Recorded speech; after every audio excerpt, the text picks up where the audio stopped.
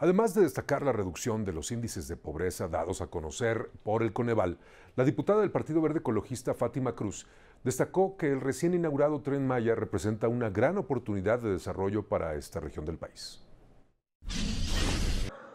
Podemos ver los resultados de la perseverancia y el trabajo diligente, una obra sin precedente que recorrerá más de 1.500 kilómetros pasando de los de los estados de Chiapas, Tabasco, Campeche, Yucatán y Quintana Roo y funcionará con un método de interconexión entre las principales ciudades y sitios turísticos de la península de Yucatán.